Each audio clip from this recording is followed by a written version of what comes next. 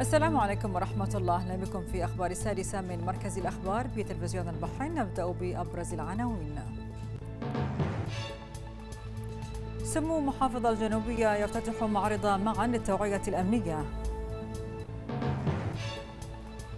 وزارة العمل والتنمية الاجتماعية تفتتح معرض التوظيف في القطاع الطبي الخاص.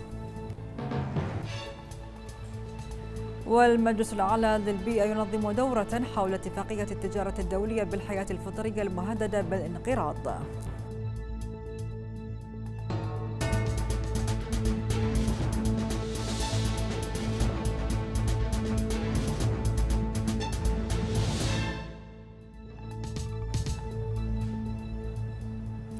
أهلا بكم إلى تفاصيل السادسة. يفتتح سمو الشيخ خليفة بن علي بن خليفة الخليفة محافظ المحافظة الجنوبية معرض معا للتوعية الأمنية 2019 في مجمع وادي السيل. وأكد سمو المحافظ على أهمية الدور الذي يقوم به المعرض في نشر الوعي وتثقيف أفراد المجتمع بمخاطر الإدمان وسبل التوعية الأمنية حفاظا على المجتمع ومرتكزاته المترابطة. مشيدا في الوقت نفسه بالدور الذي تقوم به وزارة الداخلية بدعم وتوجيه الفريق أول الشيخ راشد بن عبد الله الخليفة وزير الداخلية من خلال طرح البرامج التوعوية والتأهيلية لضمان إيصال صور الإرشاد والتوجيه بأفضل سبل الأمنية والمجتمعية. كما وثمن سموه كافة الجهود التي يبذلها القائمون على المعرض في تعزيز إطار الشراكة المجتمعية في مثل هذه المعارض والبرامج الأمنية القيمة.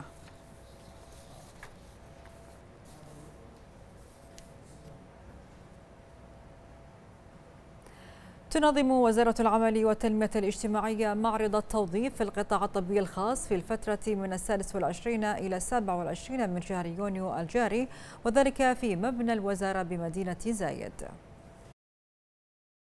في إطار متابعة وتنفيذ البرنامج الوطني للتوظيف افتتح سعادة وزير العمل والتنمية الاجتماعية السيد جميل بن محمد علي حميدان معرض التوظيف في القطاع الطبي الخاص. جميع القطاعات اليوم تعمل على زيادة نسب الكفاءات البحرينية العاملة لديها وتستفيد من الخدمات والتسهيلات والحوافز التي تقدمها الوزارة وتقدمها تمكين لإثبات الأفضلية لتوظيف البحريني. اليوم أكثر من 835 وظيفة في المجال الطبي آه، والعلاجي. معروضة اليوم في المعرض.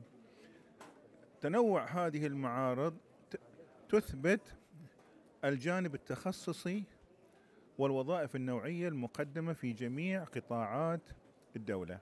ويشارك في المعرض 53 منشأة عاملة في القطاع الطبي الخاص فيما بلغ مجموع عدد الوظائف الشاغرة المعروضة 850 وظيفة في مختلف التخصصات. إلى جانب فرص تدريب نوعية موجهة إلى المواطنين الباحثين عن عمل في هذا المجال في حين ستشرف وزارة العمل والتنمية الاجتماعية على متابعة إنهاء إجراءات توظيف المقبولين المرشحين الذين يتم اختيارهم من قبل المنشآت المشاركة لشغل الشواغر الوظيفية لديها وتوقيع عقود التوظيف وتثبيتهم وفق آليات توظيف وتثبيت العمالة الوطنية.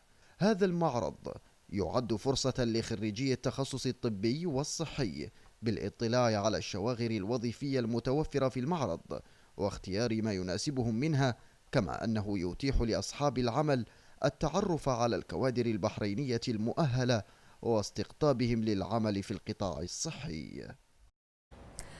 نظم المجلس الأعلى للبيئة بالتعاون مع معهد الدراسات القضائية والقانونية.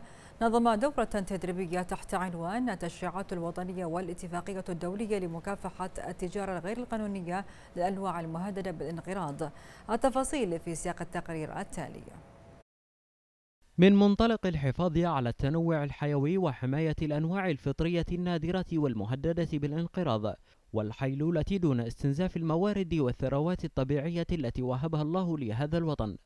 جاءت دورة تدريبية حول اتفاقية التجارة الدولية بالحياة الفطرية المهددة بالانقراض والتي نظمها المجلس الأعلى للبيئة بالتعاون مع معهد الدراسات القضائية والقانونية. اليوم العالم كله يعاني من ظواهر عدة من ضمنها وجود العديد من الكائنات منها الحيوانات المفترسة في بيئات غير بيئتها. وهذه كلها نأكد أن انتقالها تم من دولة إلى دولة بطرق غير شرعية. اتفاقية تحاول أن هي تقضي على هذه آه، الظاهرة.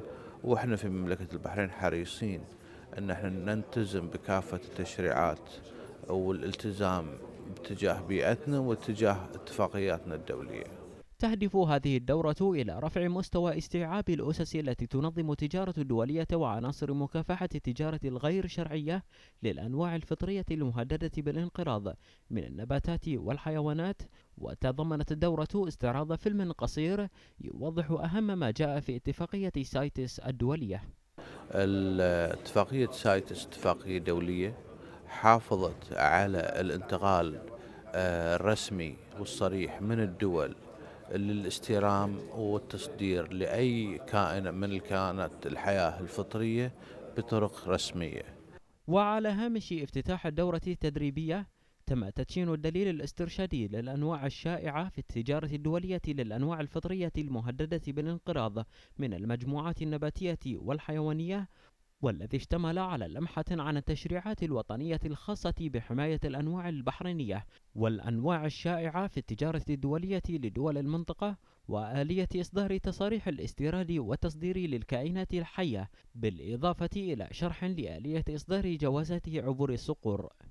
هذه الدورة تؤكد على الجهود التي بذلتها مملكة البحرين في سبيل مكافحة التجارة غير القانونية بالأنواع المهددة بالانقراض وبالتعاون المستمر بين الجهات التشريعية والتنفيذية والأهلية والخاصة والذي يهدف إلى تعزيز دور والتزام المملكة بالاتفاقيات الدولية.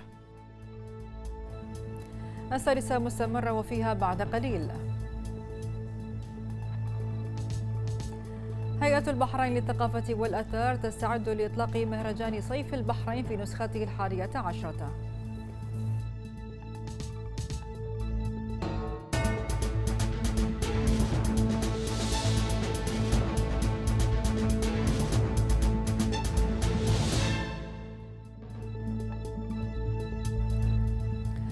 وافق مجلس أمانة العاصمة في اجتماعه الثالث عشر الختامي من الانعقاد الأول بالدورة البلدية الخامسة. وافق على مقترح لجنة الخدمات والمرافق العامة بتشجير شارع سلمان, سلمان أحمد الفاتح بالتعاون مع المجتمعات المحلية الموجودة في المنطقة. كما وافق المجلس على مقترح تخصيص عقار عقار بلدية سترة سابقا لصالح وزارة الأشغال وشؤون البلديات والتخطيط العمراني لإنشاء سوق سترة المركزي الجديد. من جهة أخرى وافق المجلس على عدة مقترحات لهيئة التخطيط والتطوير العمراني بتغيير تصنيف عدة مناطق بالعاصمة.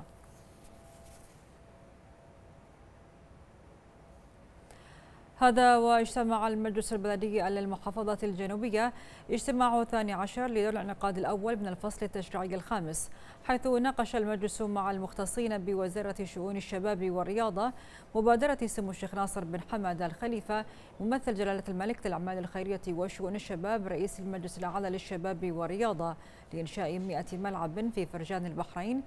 وذلك بهدف توفير بيئة مناسبة للشباب وفئة المجتمع من أجل ممارسة الرياضة في بيئة مثالية وتأكيد دور ملاعب الفرجان في دعم الأندية الوطنية والمنتخبات وتزويدها بكثير من المواهب الرياضية. كما ناقش المجلس العديد من التوصيات الواردة من سعادة وزير الأشغال وشؤون البلديات والتخطيط العمراني منها الموافقة بالإجماع على تغيير مسمى ممشى الاستقلال إلى اسم ممشى سمو الشيخ ناصر بن حمد الخليفة. كما وافق المجلس بالإجماع على مخاطبة وزارة العمل والتنمية الاجتماعية لإنشاء مركز اجتماعي نسائي وصالة مناسبات خاصة بالنساء بالرفاع الغربية. تواصل هيئة البحرين للثقافة والأثار. استعداداتها لإطلاق مهرجان صيف البحرين في نسخته الحادية عشرة وذلك يوم غد الخميس في خيمة نخول بجانب قلعة الشيخ سلمان بن أحمد الفاتح بمدينة الرفاع. حيث تحضر الهيئة لموسم الصيف هذا العام برنامجا حافلا بالأنشطة الثقافية تقدمه للجمهور من كافة الفئات والأعمار. ما بين خيمة نخول في الرفاع والصالة الثقافية في المنامة. تشمل ورش عمل إبداعية لاكتشاف وتنمية المواهب والطاقات عند زوار الخيمة الصغار إضافة إلى عروض مباشرة على مسرح نخول وسلسلة من الأنشطة والألعاب الترفيهية والرياضية. ويأتي مهرجان صيف البحرين هذا العام ضمن برنامج هيئة البحرين للثقافة والآثار للاحتفاء بالمنجزات الإنسانية والحضارية لمملكة البحرين بعنوان من يوبيل إلى آخر ويستمر لمدة شهر كامل.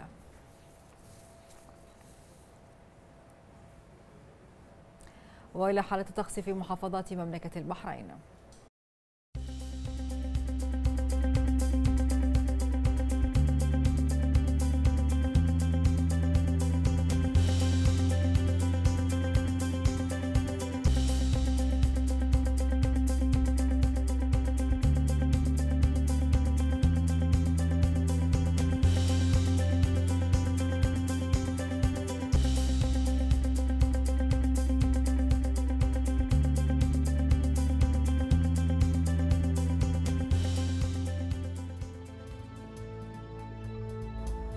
ونتابع في السادسة غدا.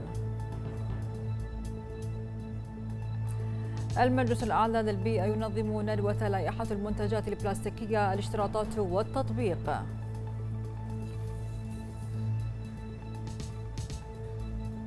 وبهذا وصلنا لختام أخبار السادسة إلى اللقاء.